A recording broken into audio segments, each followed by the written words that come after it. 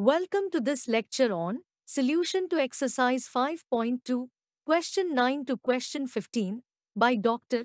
Rajesh Singh.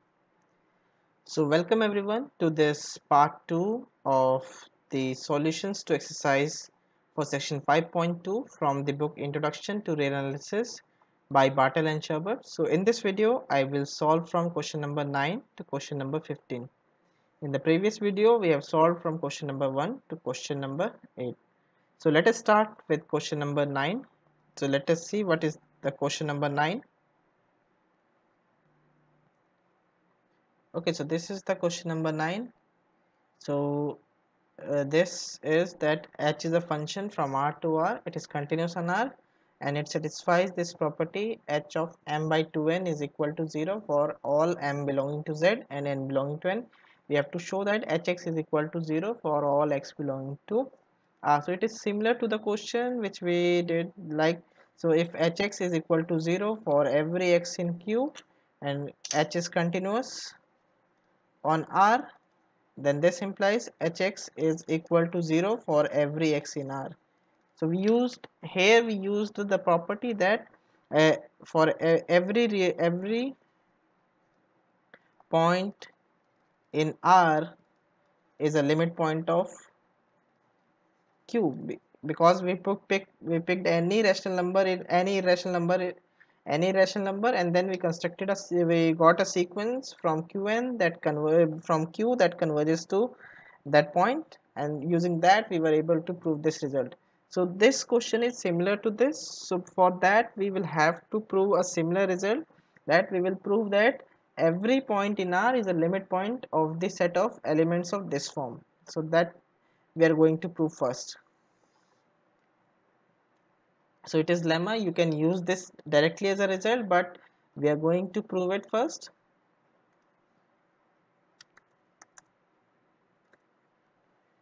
So what it says is so you can directly state this result in your uh, this uh, while proving this but let us just prove this so we have to show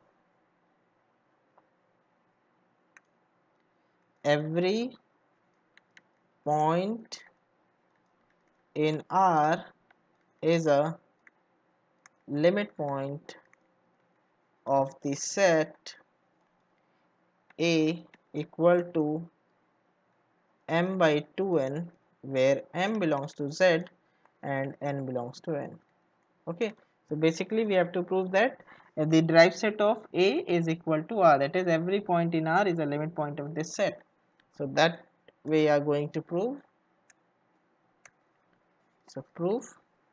Let c belong to r be any arbitrary real number. So we have started with any arbitrary real number. So our claim is c is a limit point of a. That is every epsilon neighborhood of c intersects a at a point different from C. That is to show v epsilon neighborhood of c intersection a minus c is non-empty for every epsilon greater than 0 okay so we have to show this. Because we have to show that c is a limit point of a so we have to show that every epsilon neighborhood of c intersects a at a point different from c. So this is what we are going to prove. So let us start. So let epsilon greater than 0 be any real number. So we have to show existence of a point uh, of the form m by 2n uh, in the interval c minus epsilon to c plus epsilon. So we have to show an existence of this type of number in the interval c minus epsilon to c plus epsilon. So let us start. So since epsilon is greater than 0 so by archimedean property there exists n belonging to z positive such that 1 by 2n is less than epsilon by 2 we can always choose such a number by Archimedean property because so this property is satisfied by Archimedean property. You can easily prove because we know that every number we have this. Now I can always choose a number of this form which which should be smaller than this. So I can always choose n such that 2n is greater than m. So this implies 1 by 2n is less than 1 by m. So this is also by Archimedean property. This is one version of Archimedean property and you can easily prove it also. So 1 by 2n is less than epsilon by 2 so mark it as star. That is 2n epsilon is greater than 2 or let us mark this as star because we are going to use this form of we are going to use this form. So now consider the interval. Now consider the interval c minus epsilon into 2n to c plus epsilon 2n so basic okay so we what we have basically done is we have multiplied so we have multiplied the intervals c minus epsilon by uh, c minus epsilon c plus epsilon by 2n so this is the interval that we are considering. Okay so then what is the length of this interval? The length of this interval is if you will calculate the length of this interval then c and c will cancel and it will be 2n plus 1 epsilon. So let i equal mark it as i then length of i is equal to c plus epsilon 2 to the power n minus c minus epsilon 2 to the power n which is equal to 2 to the power n plus 1 epsilon and which is greater than 4 using star because your 2n epsilon is greater than 2 so 2n plus epsilon is greater than 4 so length of this interval is greater than 4 so it contains at least two integers. So this interval so since li is greater than 4 so this implies i intersection z is cardinality of this is greater than equal to 3 in fact. So it is greater than 2 so we can choose two intervals two integers. So because it contains at least three integers so if uh, one of them is equal to c also if c is, uh, c is an integer also then also we don't have any problem because so it contains so then there exists m belonging to z positives so z there exists an integer so there exists m belonging to i intersection z such that m by 2n is not equal to c. So we can choose such an m because it contains 3 4 integers 3 4 distinct integers. So if one of them is equal to c to the power 2n such that m is not equal to you can write m is not equal to c to the power 2n and why we can choose such an integer? Because it contains three four uh, integers. So we can all if this is all this is an integer then we can have a different integer. So we can always choose an integer in i intersection z such that m is not equal to c to the power 2n so this implies m is to the power 2n is not equal to c and it belongs to the interval c minus epsilon to c plus epsilon. Because your m belongs to the interval i so m by 2n belongs to the interval c minus epsilon to c plus epsilon. And this implies v epsilon neighborhood of c into uh, this so this. Implies your m by 2n belongs to the set v epsilon in neighborhood. So this is the v epsilon neighborhood of c intersection a because this is of the form element of a minus this set c because it is distinct from c. So this implies your v epsilon c intersection a minus c is non-empty and this implies c is a limit point of a. Hence every real number is a limit point of a. So we have shown that every real number uh, every real number is a limit point of a. So now we come back to the proof of this uh, question number 9 so let us just re repaste the question number 9 here so that you can again have a look at this. So let us now come back to question number 9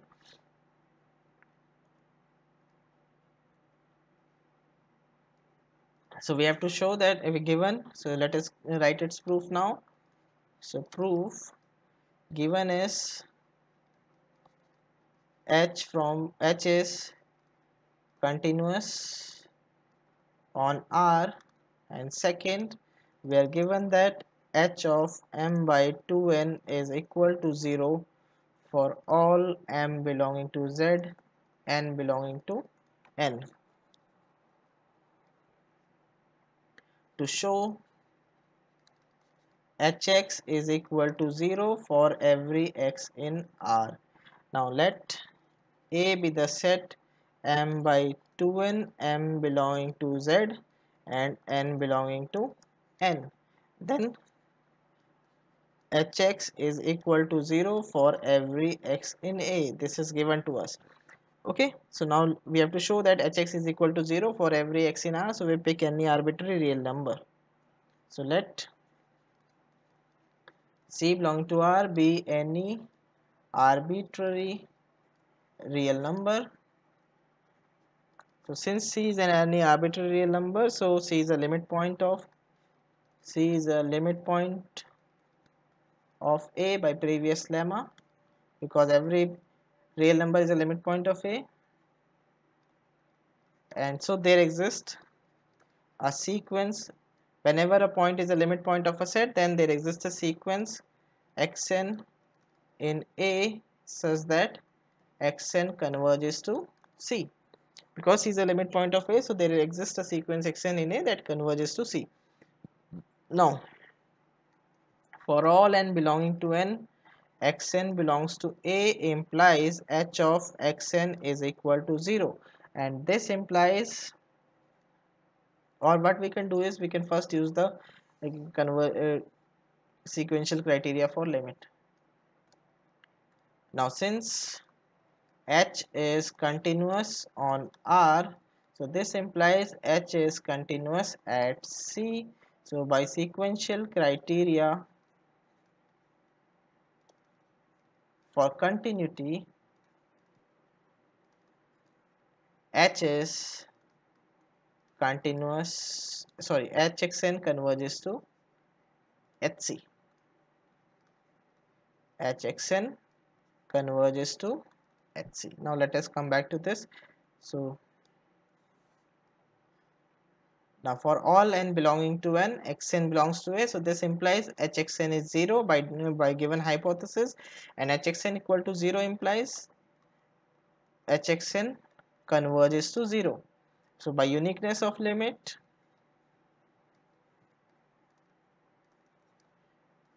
h of c is equal to 0. So since c belongs to R is arbitrary, it follows that hx is equal to 0 for every x in R. So this completes the proof of question number 9. Now let us move to question number 10. So let us see what's there in question number 10.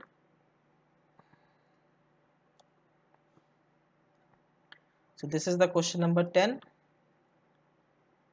Okay, so this is the question number 10. Uh, f is a function from R to R and P is the set of all points in R at which the value of the function is positive.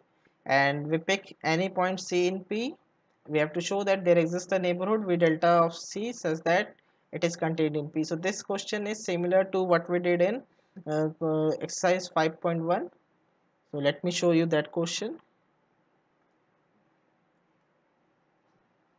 so this is uh, question number 7 from exercise 5.1 and we have already done this.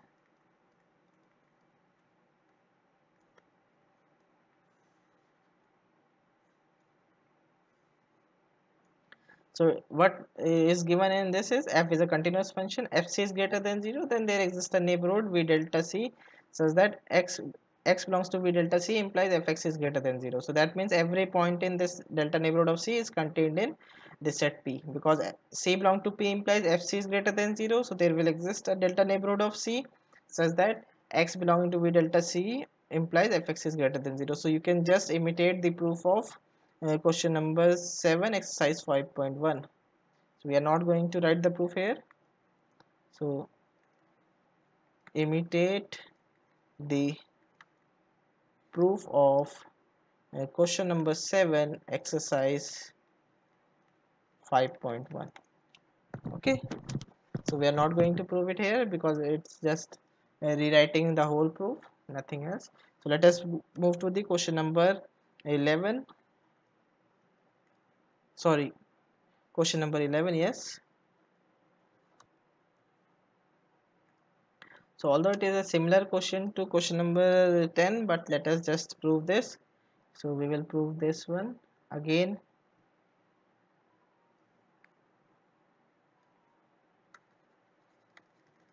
So we are given we are given two continuous functions fg continuous on r.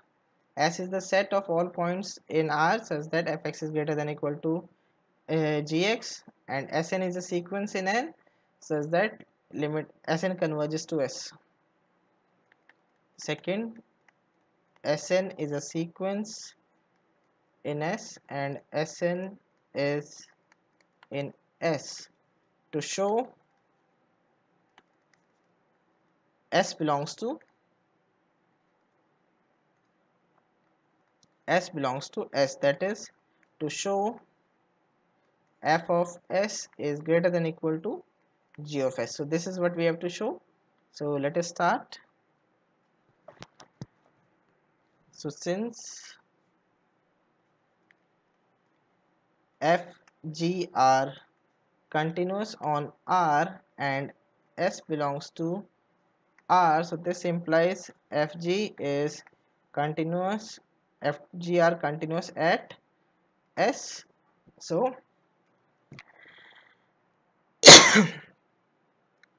as Sn converges to S so by sequential criteria for continuity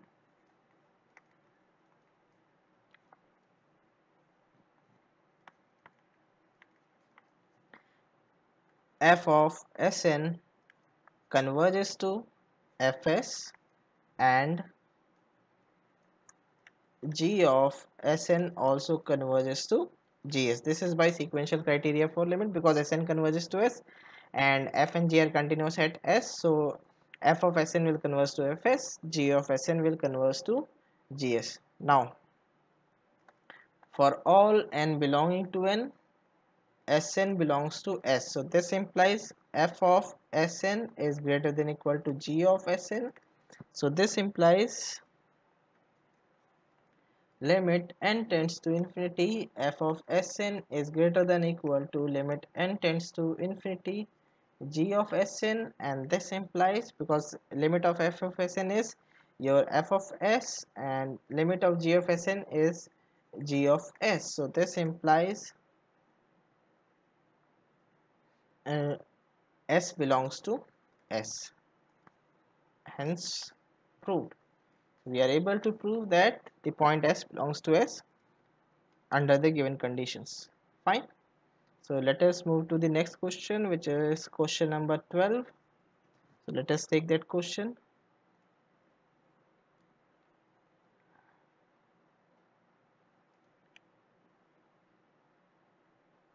So it is similar to the question that we did in exercise 4.2.12 so we are given an additive function additive function means f of x plus y is equal to fx plus fy. We have to prove that if f is continuous at some point x naught then it is continuous at every point in r. So let us start. So given first f is additive and second f is continuous at x naught for some x naught belonging to R. To show f is continuous on R. That is f is continuous at every point in R. So let us so the, we have to show that f is continuous at every point in R. So because f is an additive function so its value at 0 should be equal to 0 in fact you can prove it also. So consider f of 0 so this I can write as 0 plus 0 which is equal to f of 0 plus f of 0 by the given property. So this implies f of 0 is equal to twice of f of 0 so this implies f of 0 is equal to 0 because this gets cancelled out. So you get f of 0 equal to 0 also. F of 0 can be written as f of for all x belonging to x for all x belonging to r f of 0 is equal to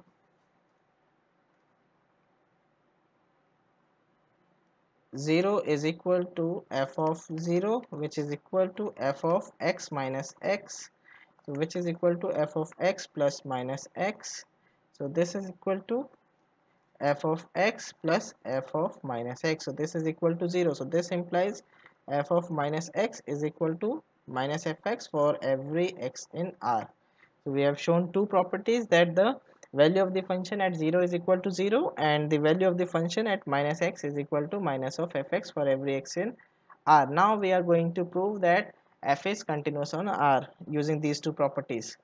These these properties are due to additive property of so let c belongs to r be any arbitrary real number. So now we are going to use a trick because we are given that f is continuous at x naught. And we have to show that limit x tends to c fx equal to fc.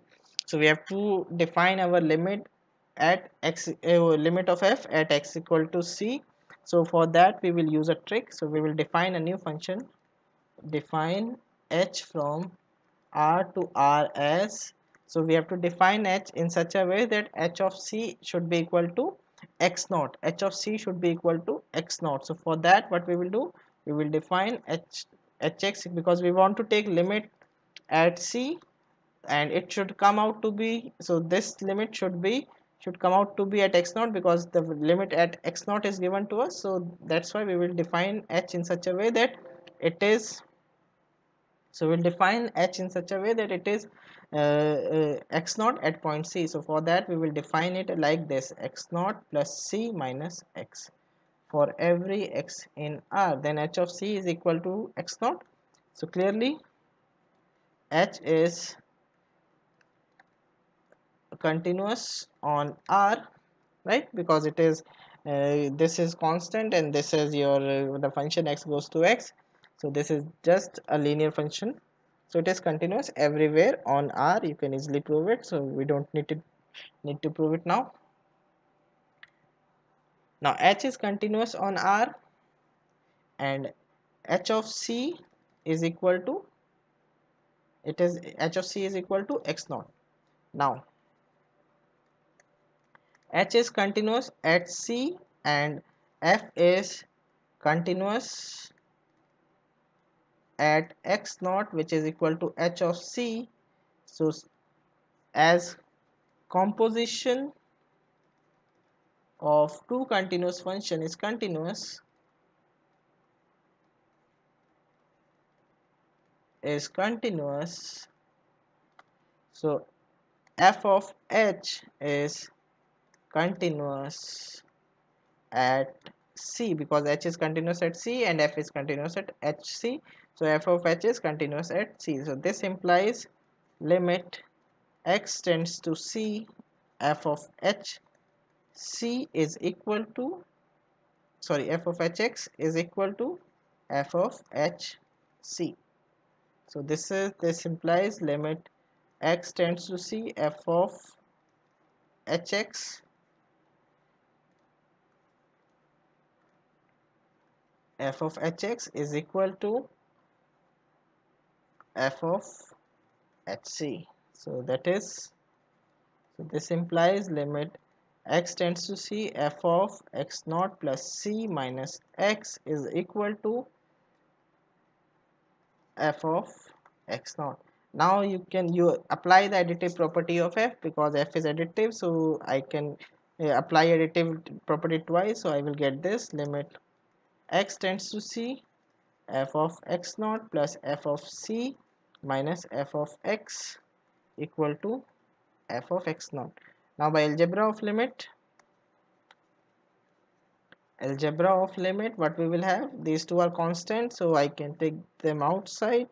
F of x naught plus f of c minus limit x tends to c f of x equal to f of x naught so now these two f of x naught gets cancelled so from here what we get we get limit x tends to c f of x is equal to f of c so this implies limit x tends to c f of x is equal to f of c. So this implies f is continuous at c. So since c belong to R is arbitrary, it follows that f is continuous on R. So it's very simple. The only trick is we have to define this function h in such a way that it uh, takes the value x naught at point c. So then we can have this uh, f of h continuous at c and then we can simply apply the additive property of this and we get the desired result that it is continuous at x naught. Now let us take the next question which is question number 13 so again this is given to be an additive function. So same rules we will apply again. Same thing we will do.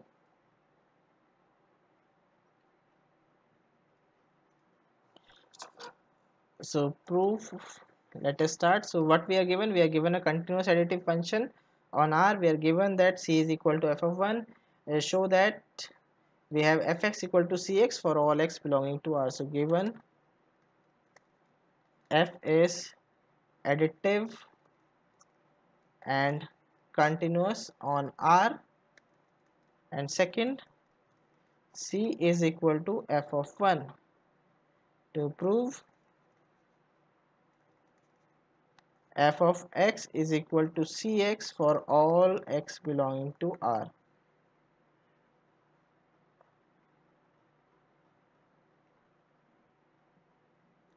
so what we will do is we will first prove this result for a set of naturals then we will prove this result for set of integers and then we will extend it to set of rationals and then we will extend it to set of uh, reals. So this is so in, we will do it in four steps. So first step we will show it for set of natural numbers. Then second step we will show it for set of uh, uh, your integers. So uh, then third step we will show it for set of uh, rational numbers and fourth step we will show it for set of real numbers. Now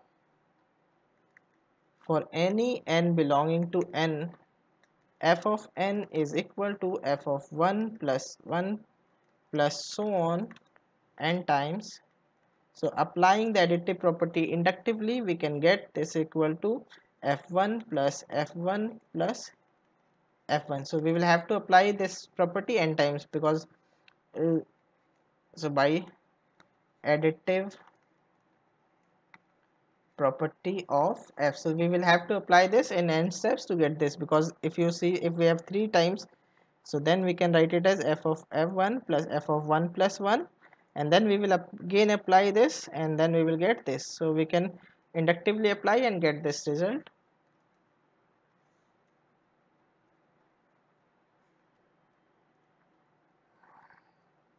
okay so this is so this is equal to n times f of 1 or this is equal to cn since c is equal to f of 1 so we are able to prove it for set of natural numbers. Now we will prove it for set of uh, uh, integers. So for that first we will have to prove two results that we have already proved in the last part. So in fact you can prove it like this. f of 0 is equal to f of 0 plus 0 which is equal to f of 0 plus f of 0 so this implies f of 0 is equal to 0 also for any x belonging to R f of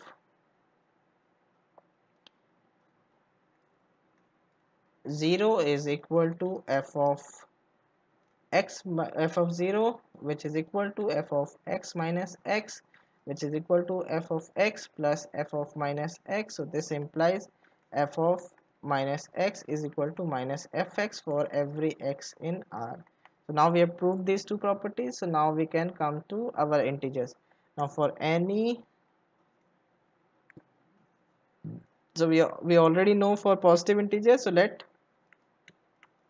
n belong to z negative be any negative integer then n is equal to minus m for some m belonging to z. Oh n belonging to n set of naturals.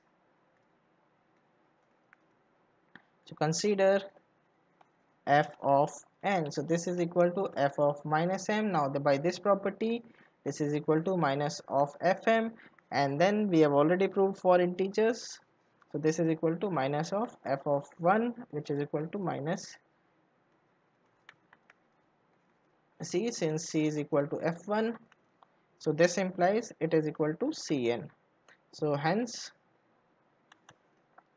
so we have proved for negative integers we have proved for positive integers and for 0 it is 0 so which is equal to c times 0 so we can write it like this also c times 0 so hence for this f of n is equal to cn for all n belonging to z. So we are able to prove this result. Now we are going to prove it for any rational number.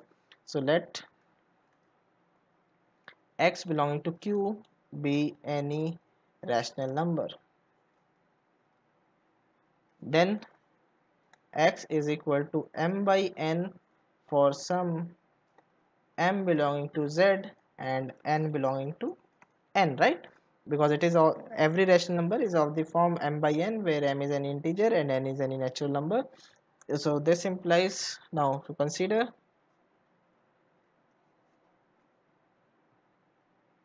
consider f of x. So f of x is equal f of x is equal to f of m by n which is equal to 1 by n times n f of m by n. So basically we have multiplied and divided by n. Now we can write this as f of m by n plus f of m by n plus so on n times. Now using the additive property we will get this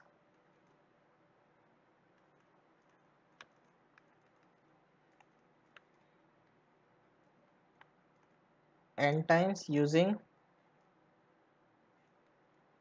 using additive property of f.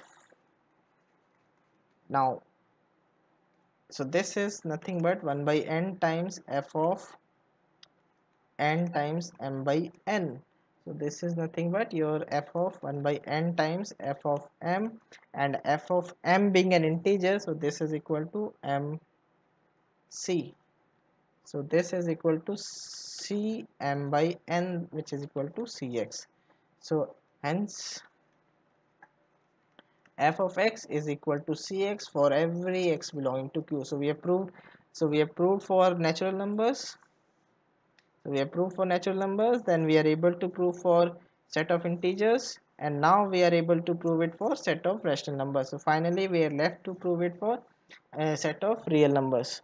So let y belong to R be any arbitrary real number.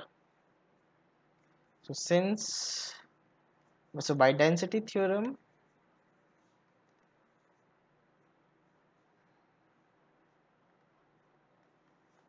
by density theorem there will exist a sequence there exists a sequence xn in q such that xn converges to y. So now because so far we have not used the property of continuity now we will use the property of continuity. So since f is continuous on r so this implies f is continuous at y. So by sequential criteria for limit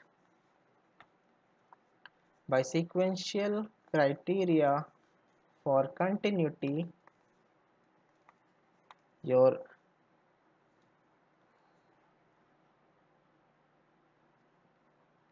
so this f f of xn converges to f of y. Now for all n belonging to n xn belongs to q so this implies f of xn is equal to c times xn. So this implies f of xn converges to c and because xn is converging to y so cy since xn converges to y.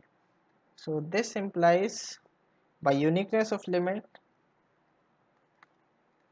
from star and double star. So by uniqueness of limit from star and double star it follows that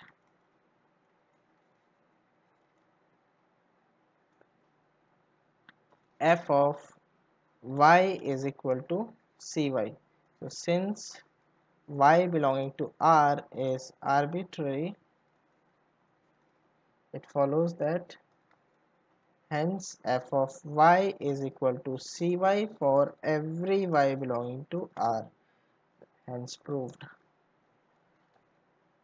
This is what we needed to prove. So to prove this we have to uh, take four steps. So first step is to prove it for natural numbers. Then you prove it for uh, real numbers. You have to use this fact that f of minus x is equal to minus of fx and then you have to prove it for rational number so rational number is just a manipulation and then to prove it for any arbitrary L number you will have to use the sequence property. So you will have to use the density theorem and then you have will have to use the sequential criteria.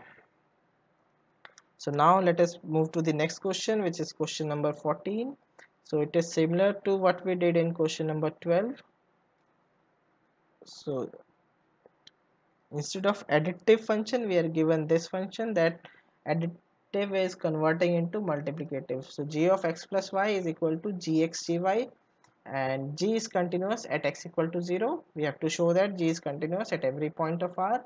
And if we have g equal to 0 for some a belonging to r then gx is equal to 0 for every x belonging to r. So this is what we have to show.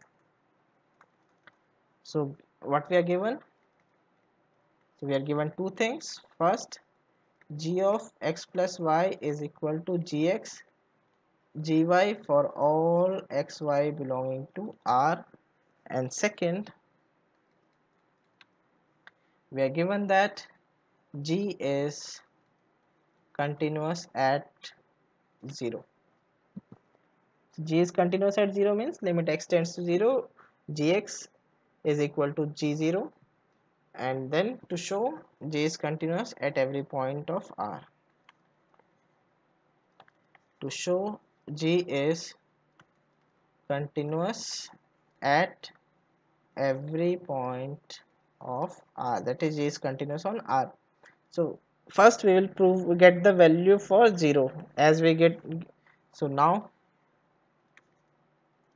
g of 0 can be written as g of 0 plus 0 and then using this property it is g of 0 into g of 0 so this implies when you will get this so g of 0 square minus g of 0 is equal to 0 so this implies g of 0 g of 0 minus 1 is equal to 0 so this implies g of 0 is equal to 0 or g of 0 is equal to 1 so we have two cases case 1 when g of 0 is equal to 0 and case 2 when g of 0 is equal to 1 so if your g of 0 is equal to 0 then for any x belonging to r g of x can be written as g of x plus 0 right?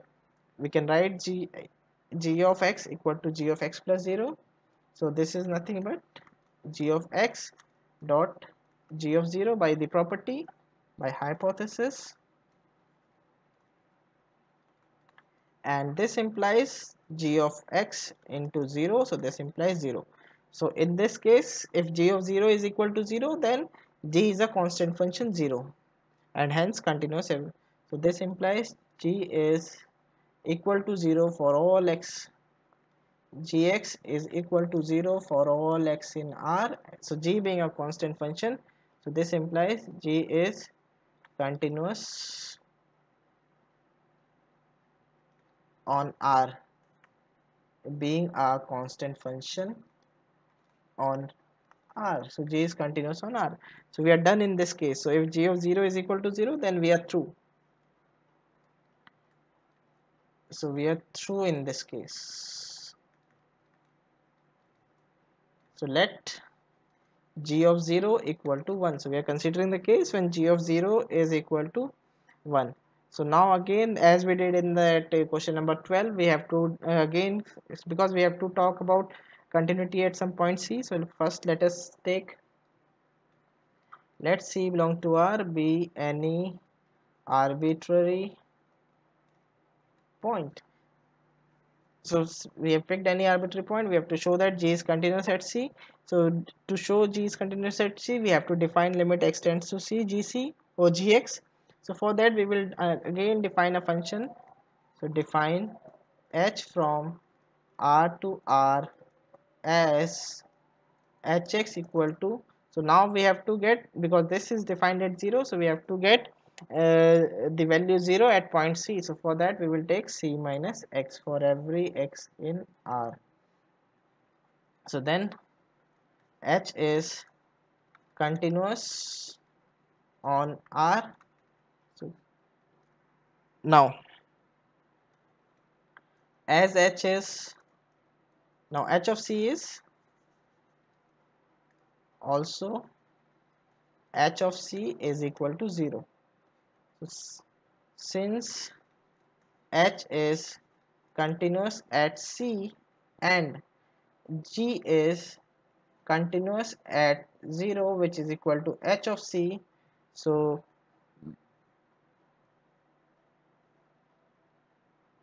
g of f g of f is continuous at c. Why? Because composition of two continuous function is continuous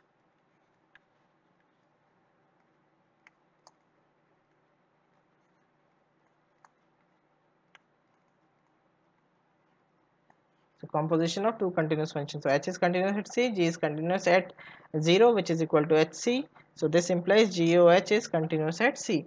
And goh is continuous at c implies limit x tends to c. G of hx is equal to GOHC. So this implies limit x tends to c. G of hx is equal to g of hc.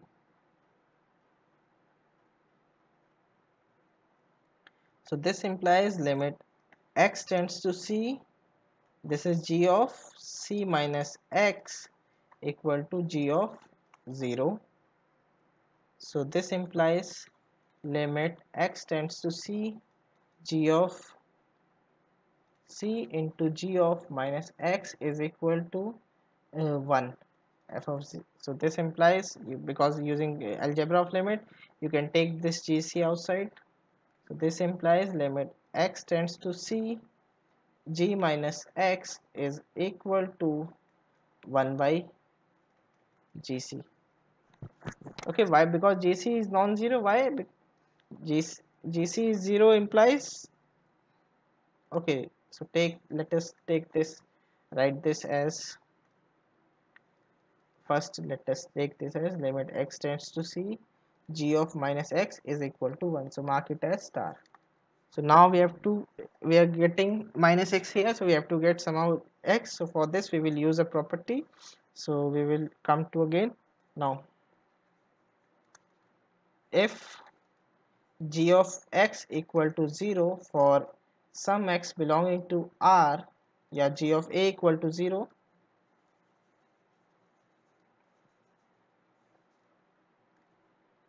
if g of a is equal to 0 for any a belonging to R then this implies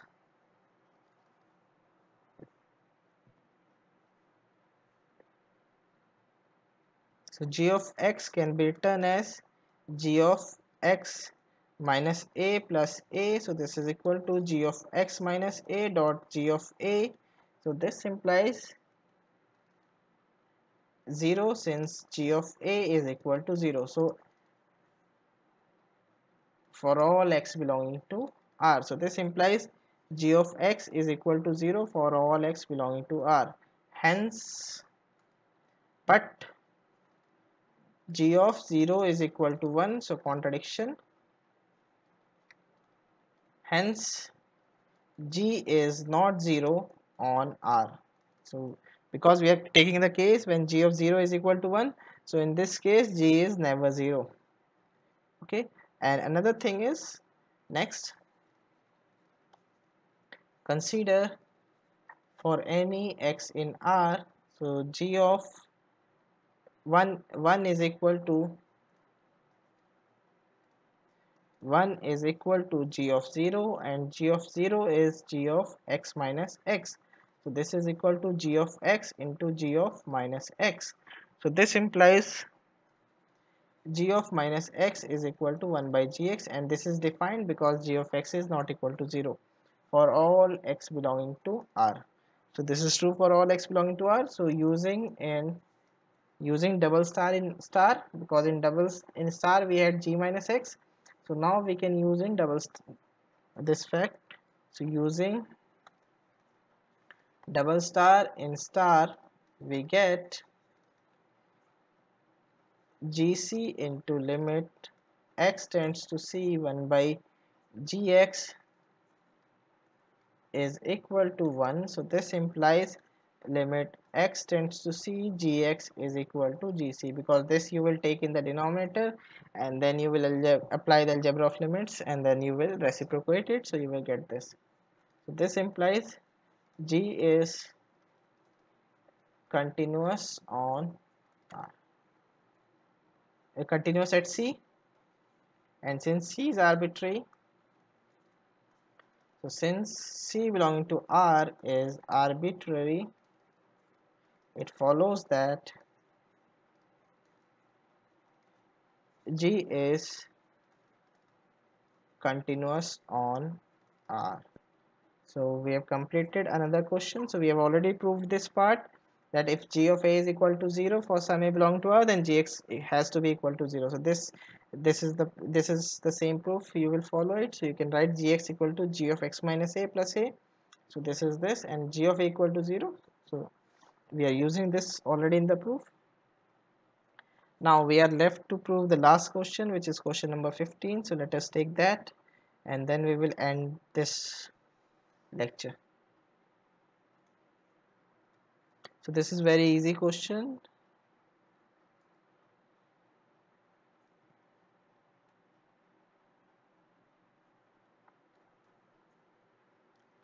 So this this is nothing but they are they are asking that you have to prove that maximum of fx uh, maximum this result we have already proved at lot of places that maximum of ab is equal to 1 by 2 times uh, a plus b plus 1 by 2 times mod a minus b so same result we are going to prove it for fx and not so very simple result. We have to do it in cases case 1 case 2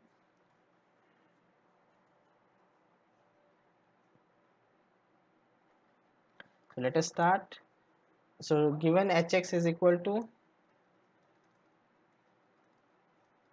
hx is equal to supremum of fx gx for all x belonging to r and to show hx equal to 1 by 2 times fx plus gx plus 1 by 2 times mod fx minus gx for every x in R. So let C belong to R be any arbitrary real number.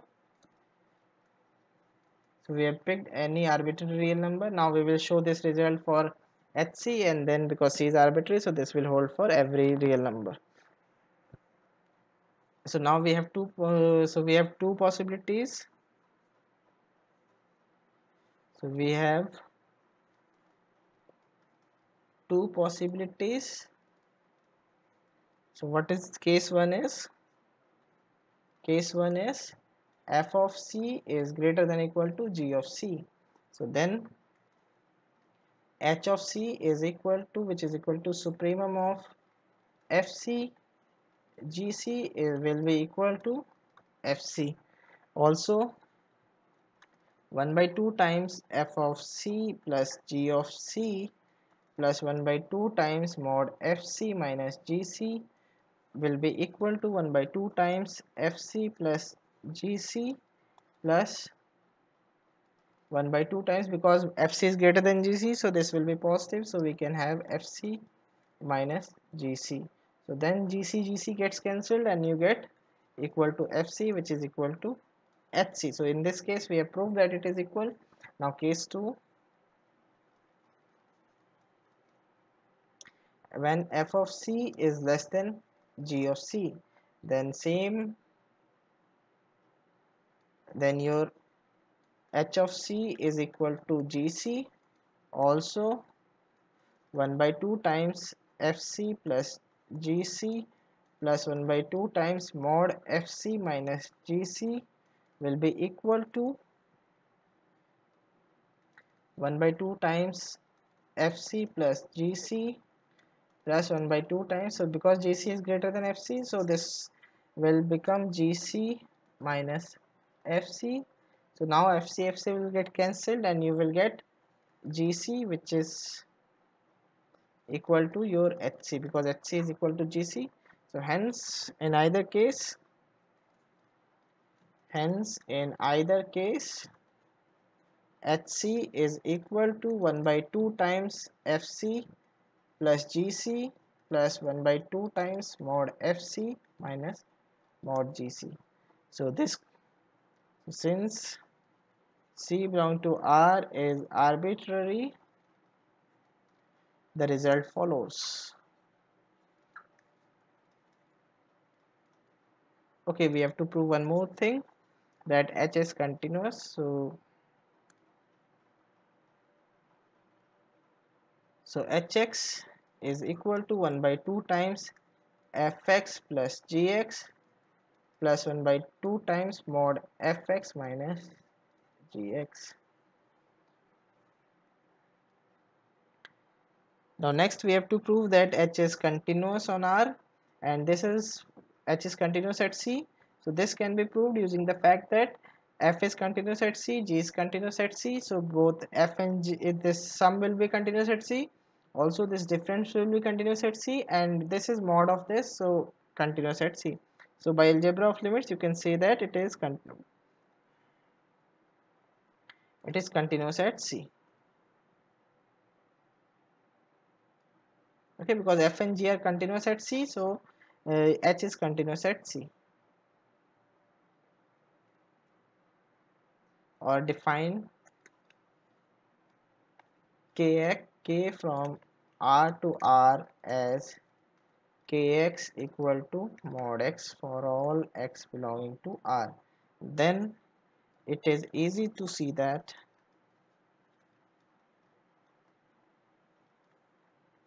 h is equal to 1 by 2 times f plus g plus 1 by 2 times k of f minus g so by since f g and k are continuous at c. So by algebra of continuous functions and using the fact that composition of two continuous function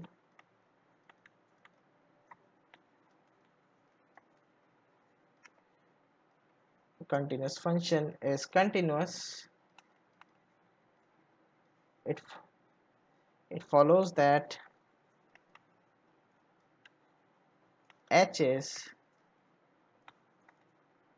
continuous at C. Because this function will be continuous sum of two functions is continuous difference of two continuous functions is continuous now composition of two continuous functions is continuous so everything is continuous. So this completes question number 15 and also the uh, solutions for exercise 5.2 so thank you for watching this video bye everyone have a good day Thank you for watching this video. Please subscribe to our YouTube channel, Online Learning, to stay updated and share with your friends. Happy learning through online learning. To watch more, click on any of these cards. Thank you once again.